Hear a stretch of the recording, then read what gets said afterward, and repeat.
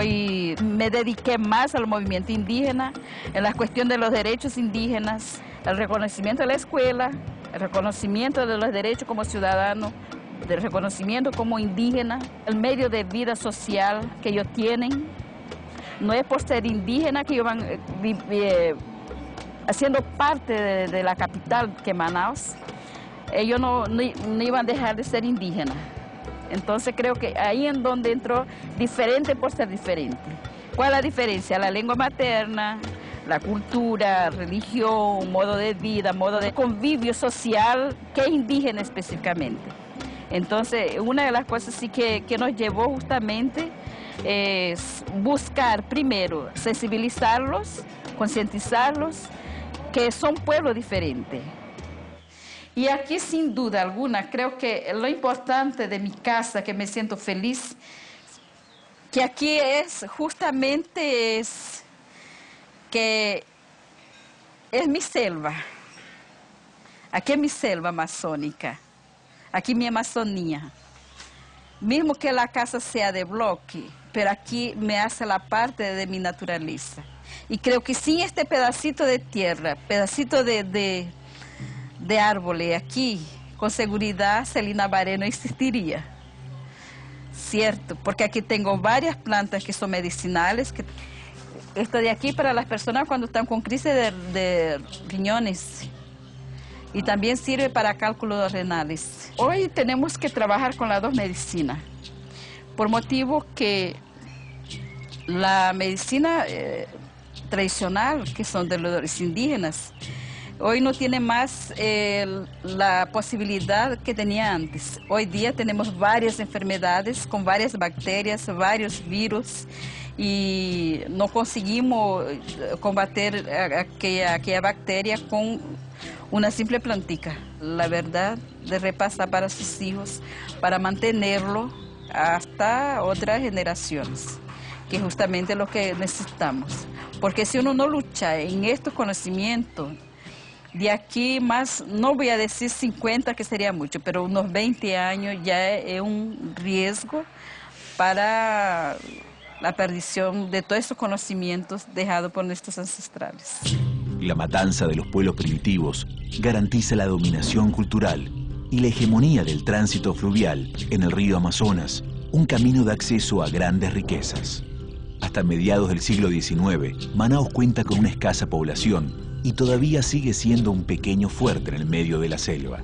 El crecimiento de la región recién comenzaría a llegar a partir del establecimiento de la navegación comercial a vapor.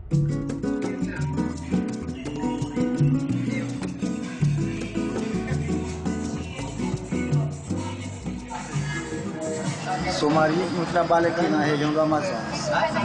Trabalho é meio difícil da gente fazer, mas com muita atenção a gente faz. Porque o Solimões é muito cheio de, de troncos, é muito cheio de, de, de bancos de areia, e a gente tem que saber todo por onde é o rio para poder fazer uma navegação boa. Eu gosto mesmo de viver a margem do Rio Amazonas aí para baixo. A gente se torna um pouco dificultoso no tempo da, da seca, da baixa da água, se torna um pouco de praia, né? É, pouco de e na, na enchente a gente tem mais um pouco de dificultoso por causa da dos pau que desce no, no, no rio. Aqui dentro do barco sou conferente e faço um pouco da pilotagem do barco. É, eu sou auxiliar do comandante. El primer viaje lo realiza el vapor Marajó, el primero de enero de 1853. Esta embarcación une la pequeña villa de Manaos con Belén, en la desembocadura del río Amazonas en el Océano Atlántico, y significa la apertura al comercio internacional para toda la cuenca. Só o dono. O sempre anda, agora na navegação quem fica mandando mais é o comandante. O que aconteceria no Amazonas se não tiver barco? Tá difícil, muito difícil para o povo, porque todo o transporte aqui no Amazonas é. Todo o transporte aqui no Amazonas é barco. Quantos dias de viagem para lá? Aqui lá é, é um, um dia e meio. Boa trabalho. A rede aqui é muito importante para o amazonense que só gosta de deitar em rede. não gosta de cama muito não, que é quente. Tem muita, tem muita cidade, que é município, que a gente não pode, não pode ir de, de estrada, não pode ir de, de coisa, vai de barco. O barco é o meio de, de transporte aqui do nosso Amazonas.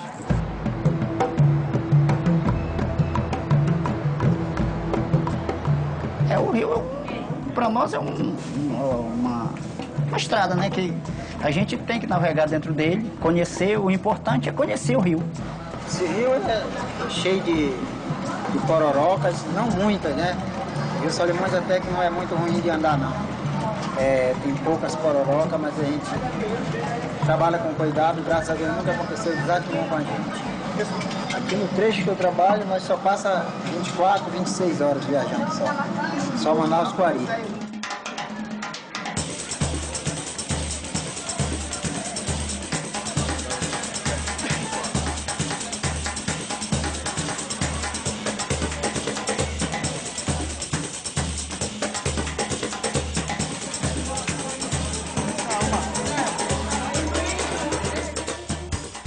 Temos aqui a nossa farinha, que é daqui da nossa região. E aqui temos frango guisado com batata e cenoura. São nossas comidas que nós mais comemos aqui no Amazonas.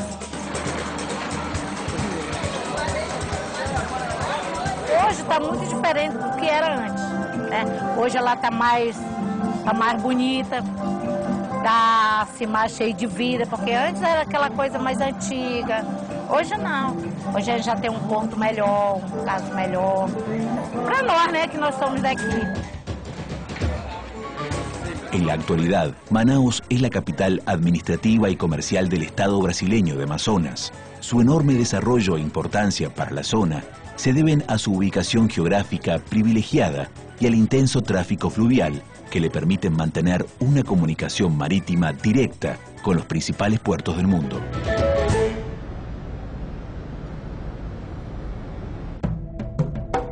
En las últimas décadas del siglo XIX, Manaos y sus alrededores son testigos de un hecho que cambiará para siempre la historia de la región. La explotación de la resina del caucho, un recurso natural abundante en la selva amazónica, produce una verdadera revolución económica en la ciudad. Pero el futuro de esta masa blanca y pegajosa cambiaría rotundamente cuando el estadounidense Charles Nelson Goodyear la transforma en goma refinada para la creación de neumáticos. El caucho se convierte en una materia prima indispensable para la creciente industria automotriz, aumentando su demanda y su valor extraordinariamente. En poco tiempo, el caucho se convierte en el segundo producto de exportación de Brasil después del café. La ciudad vive una inusitada prosperidad económica y se transforma en una suerte de fantástica metrópoli europea. En medio de una selva siempre amenazante, se construyen fastuosos edificios con el fin de hacer de Manaos uno de los grandes centros de la civilización mundial.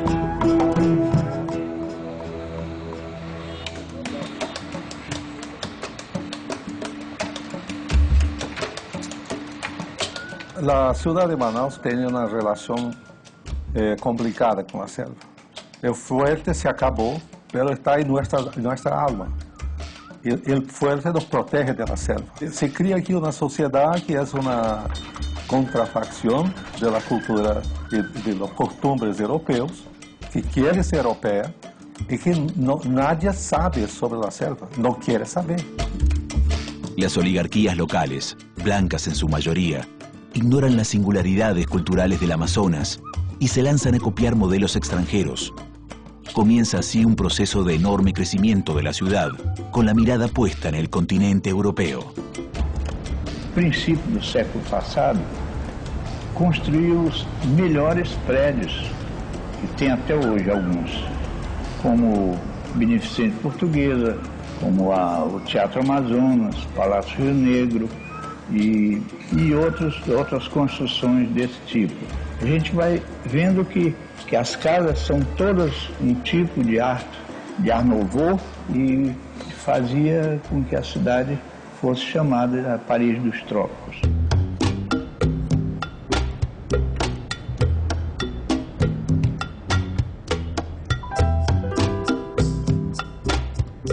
Temos eh, aqui na ciudad 10 teatros de todos os tipos, com frete de todos os tipos, pero o governador decidiu que nenhum dos teatros era digno de receber a sociedade. Então, decidiu eh, construir uma ópera que custou 400 mil libras esterlinas em valores da época. Tinha todos os state of the art da época, tinha todo o sistema de iluminação mais avançado do mundo. Os artistas queriam se apresentar primeiro aqui no Teatro Amazonas, depois na Europa. Então havia uma, uma ânsia de mostrar. El Teatro Amazonas es el máximo símbolo de la cultura europeizante que reinaba en la Manaus de la época. Su construcción demandó más de 15 años y fue inaugurado el 31 de diciembre de 1896 con la interpretación de la ópera italiana La Gioconda. En la decoración de sus imponentes salones se utilizaron mobiliarios franceses, cristales y mármoles italianos y estructuras de acero provenientes de Inglaterra. En el exterior, el edificio es rematado por una gran cúpula recubierta por 36.000 azulejos de cerámica, pintados de los colores de la bandera de Brasil.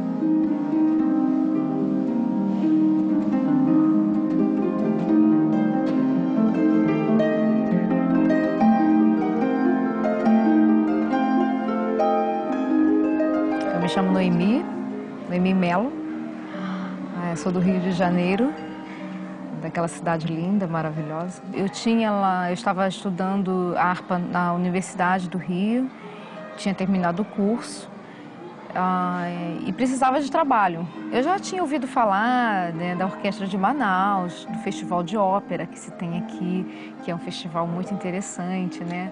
É, é, um, é um dos, é o melhor que tem no Brasil, né?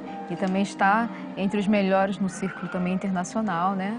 E eu recebi é, um convite né, do maestro para vir participar do Festival de Ópera e vir para o festival e ficar.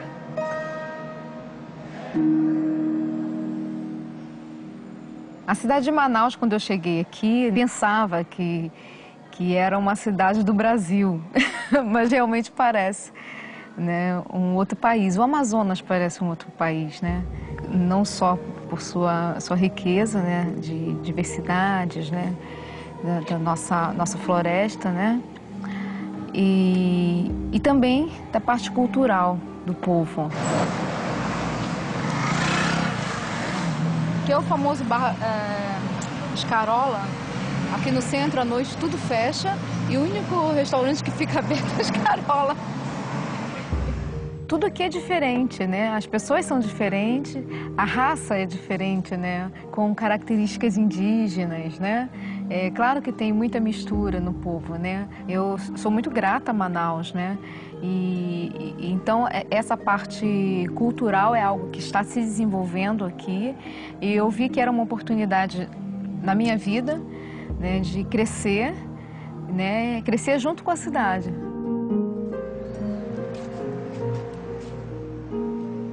Nós temos ensaio todos os dias, né? apesar que o teatro aqui tem uma programação muito intensa.